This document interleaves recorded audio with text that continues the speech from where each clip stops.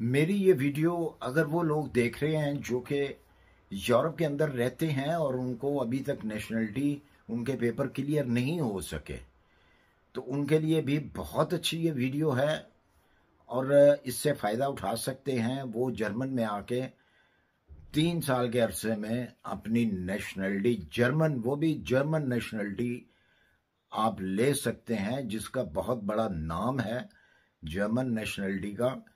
जिसके पास German nationality होती है, वो तकरीबन तकरीबन 185 187 कंट्री में वीज़ा फ्री जा सकता है।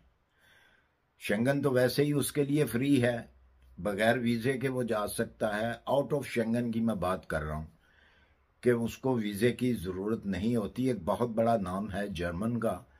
जर्मन की नेशनलिटी इतनी आसान नहीं थी जितनी के अब आसान बन गई है। बना दी है एमिग्रेशन ने। उसकी बहुत सारी वजूहत हैं गवर्नमेंट लेवल के ऊपर कि इसको आसान किया जाए, क्योंकि ज़्यादा, सबसे ज़्यादा स्ट्रिक्ट थी ये कंट्री इस मामले में, नेशनलिटी देने के मामले में। लेकिन अब उन्होंने उतना ही नरम कर दिया है कानून को कि आइए, हमारी शराइत पूरी करें नेशनलिटी आपको मिल जाती है। हाँ इसके साथ एक और बात भी है, जो मेरे जहन से निकल गई थी। स्टूडेंट्स जो हैं, स्टूडेंट भी तीन साल के बाद वो अगर स्टडी करने आए हैं, कहीं से भी आए हैं, बहुत बड़ी खबर है ये भी, जो मेरे जहन से निकल गई, जो स्टडी करने के लिए आए हैं या कुछ डिप्लोमा करने के लिए आए हुए हैं, वो भी तीन साल के बाद, तीन साल में मतलब तीन साल के अंदर नेशनलिटी ले सकते हैं। शर्त वही है कि उन शराइत के ऊपर उतरते हों रेंट अप ना देते हों क्रिमिनल केस ना हो आपके ऊपर कोई।